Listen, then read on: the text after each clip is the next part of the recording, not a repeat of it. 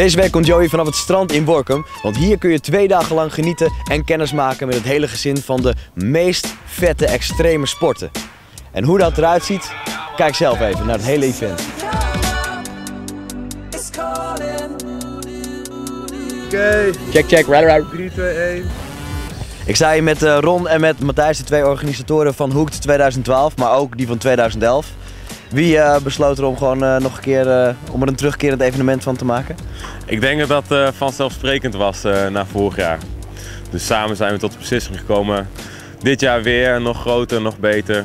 En volgens mij is het gelukt tot zover. Wie vond het nodig om dit te organiseren? Want het, is, het, het ziet er top uit, groot. Het is volgens mij nog nooit eerder gedaan, zoveel extreme sporten bij elkaar. Ja, we hadden eigenlijk al heel lang een idee om samen een, een, eh, een mooi evenement te organiseren. En toen kwamen we op een kitesurf evenement uit.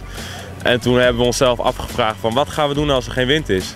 En die gedachtegang die is, ja, hebben we allemaal hele leuke ideeën eh, zijn toen tot stand gekomen. En daardoor is dit, ja, zijn we op het idee gekomen om het zo te organiseren en zo breed op extreme sport eh, gericht. Ja. En om mensen daadwerkelijk waarschijnlijk hoekt te maken aan, het, eh, aan de extreme sporten, welke sport dan ook. Ja, dat is zeker, eh, zeker eh, de bedoeling. Het, je zou het ook wel een beetje als een, volgens mij zeggen de Duitsers zeggen een snoepkoers. Het is eigenlijk een beetje een sno- Een snoepkoers. snoepkoers. Ja. Een snuffelcursus om het maar zo te zeggen voor een hele leuke prijs. Voor 15 euro kun je leren windsurfen en leren kitesurfen. Ehm, wat gebeurt er als je je inschrijft? Want ja, je leert dat niet in één keer. Nee, eh, als je je inschrijft, dan eh, ga je zo'n 5 of 10 uur het water op. Ligt even aan welke cursus je boekt. En in die cursus krijg je eh, ja, zeer goede begeleiding om de vlieger onder controle te krijgen. En eh, ja, verder het kitesurfen te ontdekken op een veilige manier. Ja, nou ben jij zelf instructeur bij, eh, bij Sky High. Ja, dat klopt. Eh, dat is de kiteboardschool. dat klopt. Ja. Ehm, hoe lang doet een gemiddeld persoon erover om een beetje goed te leren kiteboarden? Nou, de gemiddelde cursist die heeft echt wel 15 uur nodig om de vlieger sowieso veilig onder controle te hebben en de eerste meters een beetje te maken. Ja. Dus 15, 15 uur, een beetje theorie zit erbij in, kan je eigenlijk bijna veilig wel het water op. Maar dat is ook weer per persoon natuurlijk verschillend. ja. Nou ben jij instructeur. Dus nou is mijn vraag natuurlijk. Gaat die 15 uur ook voor jou op? Gaat die vlieger ook voor jou op? die was leuk hè? Ja, voor iedereen gaat de vlieger op. Ja. Het maar is, was het eh, voor jou 15 uur? Om, voordat je echt eh, goed op die plank kon staan? Nou, ik, ja, ik moet natuurlijk niet, niet, niet, niet gaan opscheppen. Maar ik heb eh, destijds ook bij Sky High eh, leren kitesurfen. En eigenlijk eh, na drie uurtjes spelen met de vlieger heb ik mijn eerste meters gemaakt. Maar eh, ja, dat is misschien wel een beetje uitzondering. Lachen, lachen jullie nou uit? Ja hè? Kun je uitleggen aan de mensen die erover twijfelen van zullen we een keer een les nemen? Wat, gaat er, wat gebeurt er in zo'n korte tijd dat je een les neemt? Je moet niet zo bang zijn. Sorry? Je moet niet zo bang zijn. Want in het begin denk je dat er heel veel kracht op staat. Maar als je het dan eenmaal voelt, en dan valt het echt heel erg mee. Er is er eerst die angst, denk ik, eh, dat je hebt met die, met die vlieger. Ja, was er bij jullie een beetje angst? Ja, bij mij het begin wel. Jij, bij, bij, bij jou niet? Nee. Nou, oude trailseeker. En, eh, en, en, en voor jou? Voor mij wel een beetje. Ik wist niet wat hoeveel kracht op stond. Dus maar toen ik hem eenmaal voelde en eh, wist hoe het werkte, dan eh, ging het gewoon prima. Ja, ze moest zich meer wat eh, laten gaan. Maar dat ging erg goed. Als je Ja. je helemaal laat gaan, dan... eh, Laat je lekker gaan. Kun je dat nog één keer halen, want dan kunnen we dat in slow motion uitzenden. Nee. nee, dat kan niet. Dan gaat een windsurfboardje verkopen. Ik denk het wel. Je gaat gewoon switchen van windsurfen naar kiteboarden. Voor nu even wel, ja, denk ik. We hebben een winnaar! Wat doet de wereldkampioen nou op een evenement als Hoekt? Ja, een fantastisch evenement. Eh, mijn sponsoren staan hier natuurlijk en dan, eh, dan kom ik gewoon even langs. De wind zag er goed uit. En, ja, wat is nou leuker om een fantastisch evenement in je eigen land te hebben en dan gewoon met al je vrienden lekker te hangen, een beetje kijken en een feestje s'avonds. Ik mag het eigenlijk niet zeggen, maar er was ook nog een illegaal feestje, heb ik wel gehoord. Ja, nou, maar daar kunnen we niks over zeggen. Maar ik heb wel gehoord, het was wel heel gezellig, dat feest wat er niet was. Ja, weet je, de evenemententerrein moest ook bewaken worden. Dus eh, ik eh, was gewoon de hele avond op het evenemententerrein hoor. Feestje eh, weet ik niks van. Ja, ik zie die oogjes wel, ik zie die oogjes wel. Waar was je gisteren? Ja, ik, eh, ik was niet op het feestje, want eh, volgende week hebben we PKA. Dus eh, ja, ik moest mezelf wel een klein beetje sparen en gewoon eh, Topsporten. ja, toch even de topsport eruit hangen. Nu zijn jullie twee eh vervent kitesurfers. Als jullie deze sport nou niet zouden beoefenen, wat zou je dan eh, kiezen hier? hier.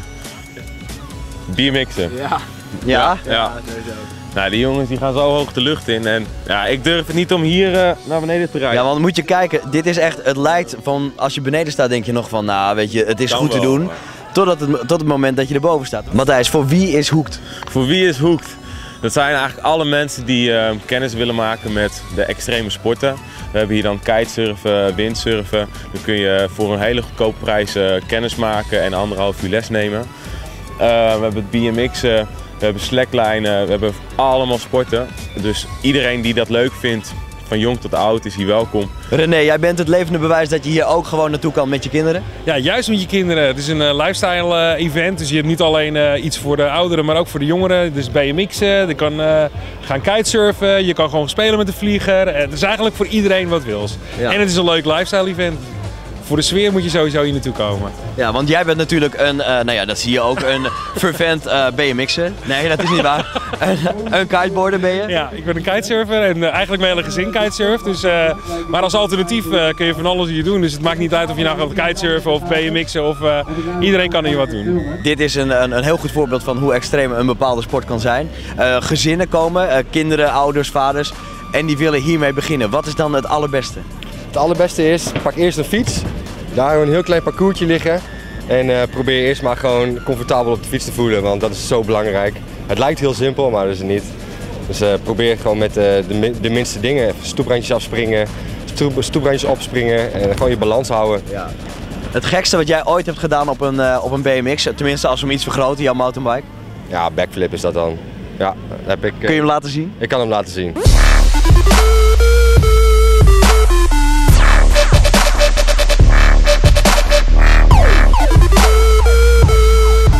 Hoe lang heb je erover gedaan dat je dit, dat je dit kon? Eh, gewoon lopen bedoel je? Ja. Of, eh, nou, lopen valt best, valt best mee. Een paar dagen, dan kun je wel lopen. Lopen valt best mee. Dus eh, je gaat gewoon weer opnieuw weer omhoog. En eh, altijd erop proberen trucjes te doen. En een beetje durven. Ja. Dus, dus soms ook een beetje bang zijn daarvoor. Dus een beetje durven en dan valt het best snel mee. ja, nou ik zie het hier al op de achtergrond. Over trucjes gesproken. Ja, het, het is vaak met extreme sporten, het is vaak gewoon doen en durven. Doen en durven. En een beetje willen leren. Dat is alles wat ik niet wil. Dit is compleet alles wat ik niet wil. Ik ga het toch proberen. Kun je me een paar tips geven? Eh, nou, eh, je probeert dus eh, recht, helemaal recht met je voet op de lijn te staan. Ja? En met je armen omhoog. En dan proberen komt de tweede erop.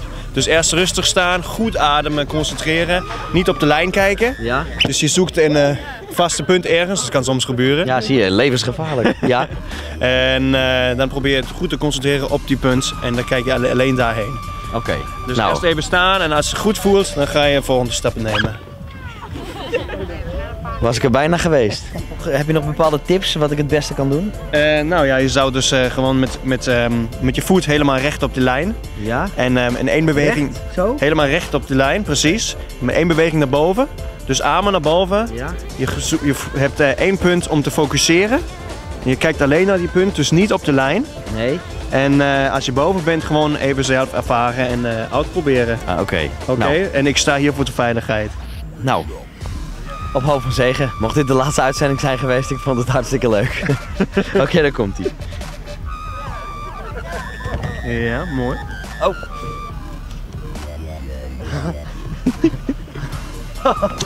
Kijk. Nou, het is niet onhaalbaar. het was, ik heb het namelijk stiekem gisteren ook al eh, geprobeerd. Ja. En toen was het echt één groot drama. Maar dat was misschien ook omdat ik in het midden ging opstappen. ja, het midden is meestal wat moeilijk, hè? Het is jammer dat ik thuis geen twee bomen heb. maar anders dan, eh, dan had ik dat zo'n setje aan willen schaffen. Dit was Joey vanaf Hoekt 2012 vanaf het strand in Workum. En mocht je nou denken, ja wat zag die gozer eruit? Het is een rare pak. Nou dat is namelijk een eh, Brunotti chill pak. Dan ben ik namelijk helemaal in stijl. En wat voor stijl? MC Hammer style. can't touch this. das terças.